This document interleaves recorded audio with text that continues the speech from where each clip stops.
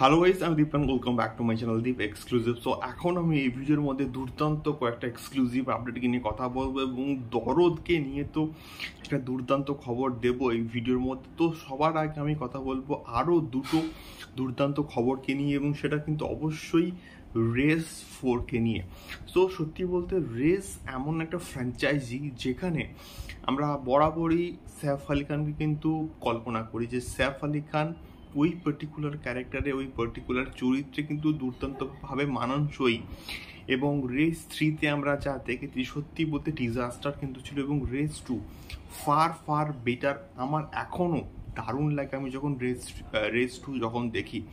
তো সম্ভবত রেস ফোরে আবার একবার সৈফ আলি খান কাম করতে পারে, এমনটাই কিন্তু লেটেস্ট আপডেট গতকাল থেকে কিন্তু উঠে আসছে। এবার দেখা যাক এটা কতটা সত্যি হয় এবং ডিরেকশন অ্যাকচুয়ালি কে? দেন এটাই কিন্তু দেখার মতো বিষয়পত্র হবে বাট রেস ফোর কিন্তু হচ্ছে এটা কনফার্ম তো এর পরবর্তীকালে কথা বলব ভেটিয়ানকে নিয়ে এবং গতকাল কিন্তু একটা অফিসিয়াল আপডেট এবং পোস্টার কিন্তু শেয়ার করা হয়েছে এবং রজনীকান্ত স্যারের কিন্তু লুক কালকে একটা রিভিল করা হয়েছে এবং তার সঙ্গে সঙ্গে রিলিজ ডেটও কিন্তু অ্যানাউন্সমেন্ট করা হয়েছে ভেটিয়ানের এবং এটা কিন্তু ডিরেক্টলি ক্লাস করছে কঙ্গুভার সঙ্গে এবং এটা টেন্থ অফ অক্টোবর কিন্তু মোটামুটি মুক্তি পাচ্ছে ভেটিয়ান এবং তারই গতকাল একটা কিন্তু পোস্টার ড্রপ করা হয়েছে এবং এই পোস্টারটা রজনীকান্ত স্যারকে ব্যাপক লাগছে।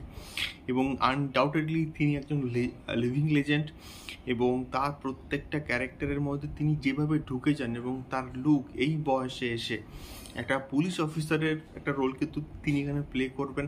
দেখা যাক কেমন হয় এই পার্টিকুলার প্রজেক্টটা এবং লুকটা কিন্তু ব্যাপক। কাঙ্গুভা এবং ভেটিয়ানের ক্লাস কিন্তু মোটামুটি কনফার্ম দেখা যাক কেমন হয় এই পার্টিকুলার ক্লাসটা সবার লাস্টে কথা বলব, অবশ্যই শাকিব খানকে নিয়ে, দরদকে নিয়ে এবং দরদ সংক্রান্ত কিন্তু একটা একটা এক্সক্লুসিভ আপডেট উঠে এসছে। এবং সেটা হচ্ছে গিয়ে কৌশলেদি কিন্তু গতকাল দেখলাম একটা ইন্টারভিউ নিয়েছে মামুন ভাইয়ের।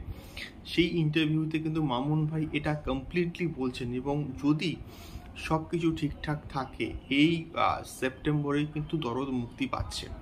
এবং এটা একদম কনফার্ম এবং অফিসিয়াল একটা আপডেট যখন মামুন ভাই বলছেন যে সব কিছু যদি ঠিকঠাক থাকে তার কারণটা হচ্ছে বাংলাদেশের এখন কিন্তু অবস্থা খুবই খারাপ এবং আস্তে আস্তে ডেভেলপমেন্ট হচ্ছে এবং নতুন সরকার কিন্তু গঠন হচ্ছে এবং নতুন সেন্সারশিপ বা সেন্সার বোর্ড সেগুলো কিন্তু মোটামুটি গঠন হচ্ছে।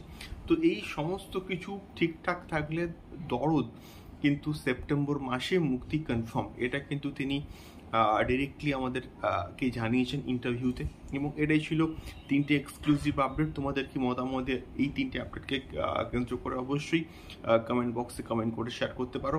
দেখা হচ্ছে পরবর্তী ভিডিওতে দরদ সংক্রান্ত আরও অনেক অনেক খবর নিয়ে। টাটা।